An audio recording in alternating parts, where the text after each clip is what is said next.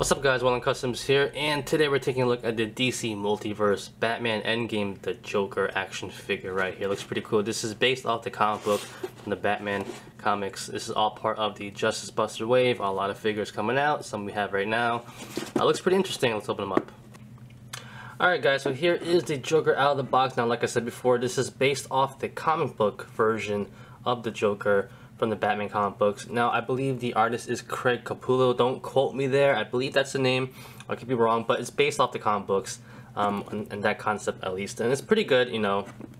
The body is pretty much the standard Mattel body you get with the suit and everything. Not bad, but nothing special about it. Uh, for accessories, he does come with the other arm for the Build-A-Figure right here, so we'll put to the side. And also, he does come with a mask right there, which is not that bad looking, pretty decent sculpt right there. A little bit of coloring, but not a lot. Take a look at the other side right there. And he's supposed to hold this. This is basically just from the just from the uh, the box cover right here. You know that little picture. It's, it's, it's as if they saw this picture and they were like, "Let's make a Joker just like that." Literally, just like that. So the way this works is you have him hold it in one hand. Give me one second that, and the other hand, you could tell like his other hand, his pinky and his thumb are up. Uh, you could do a little better than that, but you could you get the idea right there, like that, like that, like that, like that. So that's pretty cool, I guess, if you want to have him pose like that. Uh, but other than that, yeah, the figure itself is pretty plain, except for the head sculpt. Alright, with that being done, let's look at his face sculpt, and it's pretty nice, I have to admit. It's a, it's a very specific grin and look to it. Um, it can really depend on your preference if you like it or not, but you can't deny the sculpting. It looks really good though overall. Uh, they did a great job sculpting it. You can see all the details. The teeth look really good as well. You can see inside there. Uh, you see the wrinkles of his smile.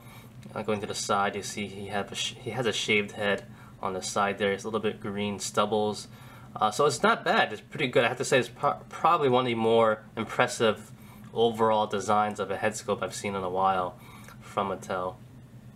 Um, so, you know, either you like it or not, it's up to you, but you have to admit it's a pretty good job they did right there.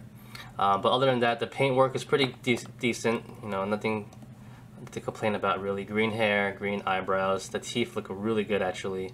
Um, nice detail there, the eyes are pretty good as well.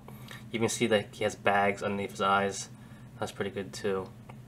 So overall, the head sculpt is probably the most impressive thing from this figure. And it's pretty clean too, I have to admit. It looks pretty nice. Even the ears, really nice. That's pretty good detail and sculpting, honestly. It is pretty nice. Uh, very impressive. They didn't really skimp out or half-ass it.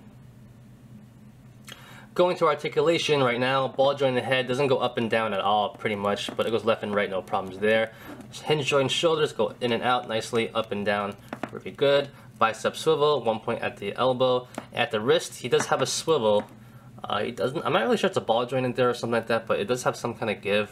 Not really a hinge joint though, but it does move around a little bit. Uh, he does have an ab joint. I know he does have an ab joint underneath here. It goes back, but doesn't go forward that much at all. Uh, so he does have a waist swivel as well. Uh, T-jointed hips underneath the jacket, so it goes up that much. Doesn't go back. It goes back pretty good actually and uh, in and out, no problems there.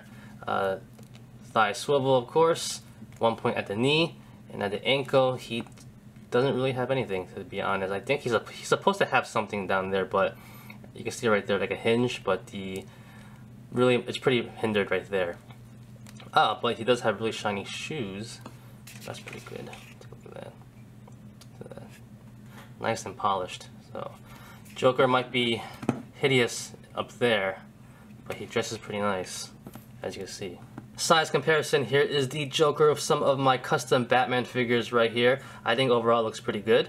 And for a last size comparison, here is the Joker of some of the other DC figures I have. And, you know, overall, maybe he is a little bit too tall. I don't know. Uh, but I think he's a great looking figure. You know, like I said before, if you're a fan of the comic series, you might like him a lot. Uh, the body itself is pretty plain, but the head sculpt on him is great. And, you know, that might be a plus for a lot of people. So other than that, guys, thanks for watching. Like always, comment, criticize, subscribe, do whatever you want to pay attention. Follow me on Facebook, Twitter, and Instagram with a Wylun Customs If you like the video, give it a thumbs up. Peace.